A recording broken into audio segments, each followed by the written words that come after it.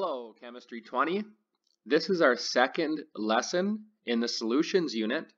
This is concentration of solutions. In this lesson, we will explore percent concentrations, parts per million, molar concentration, and we will go through seven examples. Percent concentrations. These are concentration values that are commonly used for consumer products. There are three actual percent concentrations. Percent by volume, percent by mass, and percent mass by volume. All are very, very similar. Note, it is always the solute amount divided by the overall solution amount. That is the same for each percent concentration.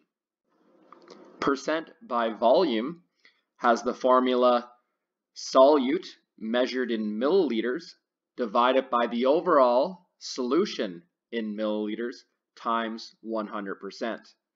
The units for percent by volume are percent V divided by V. Percent by mass has the formula mass of the solute in grams divided by mass of the overall solution in grams times 100%. The units for percent by mass are percent W divided by W. W refers to weight. Percent mass by volume has the formula mass of the solute in grams divided by volume of the overall solution in milliliters times 100%. The units are percent W slash V. All of these formulas are very similar, and we can tell which formula to use by the units that are typically given in a question. Parts per million. This concentration value is used for very dilute solutions. Parts per million can have two formulas, depending on the units given. The mass of the solute in milligrams divided by the volume of solution in liters. The units are actually milligrams divided by liters but sometimes the units can also be expressed as ppm, parts per million. The other formula for parts per million is mass of the solute in milligrams divided by the mass of the overall solution in kilograms. The units for this formula are milligrams divided by kilograms, but also can be expressed by ppm. And finally, the most important concentration measurement is molar concentration. This type of concentration is used for most chemistry calculations. The units for molar concentration are moles per liter. Therefore, our formula is the number of moles of the solute divided by the overall volume of the solution in liters. It is important to note that after this lesson, we will only focus on molar concentration. You will use molar concentration for the remainder of Chemistry 20, and you will use it in Chemistry 30. Example number one. If 5.0 grams of salt is added to water to make 65.0 grams of solution. What is the percent by mass? Pause the video and attempt this example. Okay, we know that we are trying to solve for percent by mass because it's given in the question. We can also identify that we're going to solve for percent by mass because we're given the grams of the solute, salt, and also the grams of the overall solution. So remember, percent by mass is the mass of the solute divided by the mass of the solution times 100%. That would be 5.0 grams divided by 65.0 grams times 100%. As a result, our percent by mass is 7.7%. Example number two. Nail polish remover has a concentration of acetone that is 88% by volume. If you have 350 milliliters of nail polish remover, what is the volume of acetone? Pause the video and attempt this example. Okay, we know that 88% of the overall solution contains acetone. So we can first take the percent and convert it to a decimal. And we know that decimal 0.88 is equal to the amount of acetone divided by the volume of the overall solution. If we rearrange uh, this formula, we are left with X the volume of acetone is equal to 0.88 times 350 milliliters.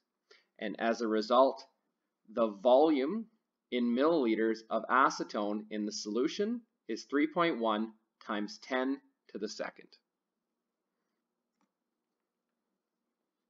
Example number three. Water hardness is a measure of calcium ion concentration. The hardness of Calgary water is rated at 165 parts per million. What mass of calcium ions is found in 5 liters of Calgary water? Pause the video and attempt this example. We are working with parts per million, therefore we know 165 parts per million is equal to 165 milligrams per liter. Uh, we can then take the 5 liters of water and times it by the 165 milligrams over 1 liter. This cancels out our units of liters and as a result leaves us with the units of milligrams. In 5 liters of Calgary water, there is 825 milligrams of calcium ions. Example number four, 0.50 moles of KCl is dissociated to produce 250 milliliters of solution. What is the molar concentration? Pause the video and attempt this example. Okay, we know molar concentration is the amount of moles divided by liters. So we can simply take uh, the 0.50 moles of potassium chloride and divide it by the overall volume of the solution in liters, so 0.250 liters. As a result, uh, the molar concentration of potassium chloride is 2.0 moles per liter. Something that's important to note is that these square brackets refer to molar concentration. So again, the square brackets refer to molar concentration. Example number five. How many moles are in 450 milliliters of a 0.400 moles per liter solution of sodium chloride? Pause the video and attempt this example.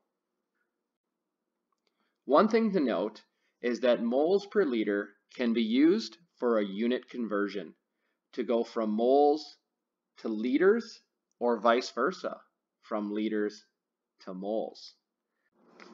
To find the number of moles of sodium chloride, we have to start with the 450 milliliters. Uh, we can then convert it to liters by dividing it by 1000 milliliters.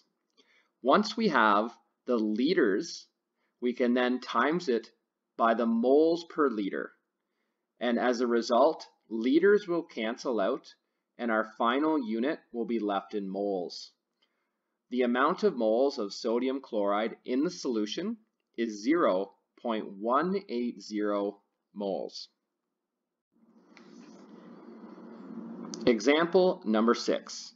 A student is required to prepare 1.5 liters of a 2.0 moles per liter solution of lithium fluoride. What mass of lithium fluoride should the student measure out? Pause the video and attempt this example. Let's use the Chemistry 20 calculations chart to understand this process. We are starting with a volume of a solution. So here we have a volume of the solution. We can then use the concentration to go from liters to moles of lithium fluoride. Once we have the moles of lithium fluoride, we can use the molar mass of lithium fluoride to find the amount of grams required.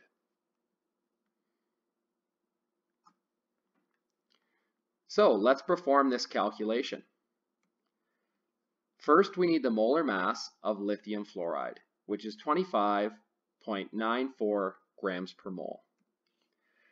We are then going to start with the volume, 1.5 liters, and times it by the concentration, 2.0 moles over 1 liter. As a result, our answer will now be in moles of lithium fluoride. We can then times our mole value by the molar mass of lithium fluoride to cancel out our units of moles. And as a result, our then end unit will be left in grams. If we perform this calculation, the amount of mass required of lithium fluoride to make the solution is 78 grams. Example number seven. A sample of river water contains 588 parts per million of dissolved sodium chloride. Calculate the molar concentration of sodium chloride. Pause the video and attempt this example. 588 parts per million actually means 588 milligrams per one liter. We can then convert the milligrams to grams by dividing by 1,000. As a result, we have 0.588 grams per liter. We now have to convert the grams to moles. Uh, to do so, we need the molar mass of sodium chloride, which is 58.44 grams per mole. We can then take the 0.558 grams per liter and divide it by the molar mass, 58.44. This cancels out our gram value. As a result, our new unit will be moles divided by liters, which is molar concentration. The molar concentration of sodium chloride in the river water is 0.0 101 moles per liter.